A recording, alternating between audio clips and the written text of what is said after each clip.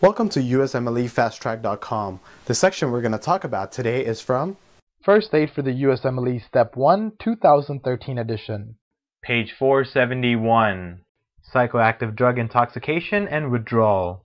What are the non-specific effects of stimulant intoxication?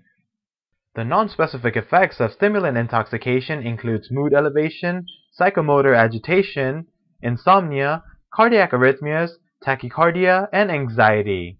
What are the nonspecific symptoms of stimulant withdrawal?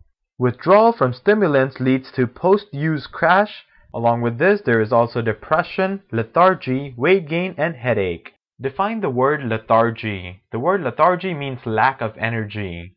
What are the effects of amphetamine intoxication? The effects of amphetamine intoxication includes euphoria, grandiosity, pupillary dilation, prolonged wakefulness and attention, hypertension, tachycardia, anorexia, paranoia, and fever. Define the word grandiosity.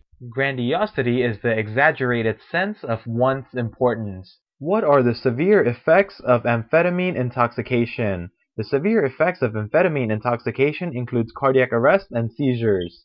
What are the symptoms of amphetamine withdrawal? The symptoms of amphetamine withdrawal includes anhedonia, which is inability to feel pleasure, increased appetite, hypersomnolence, which is excessive sleeping, and existential crisis. What is existential crisis? Existential crisis is a moment at which an individual questions the very foundation of his or her life, and whether his or her life has any value or meaning.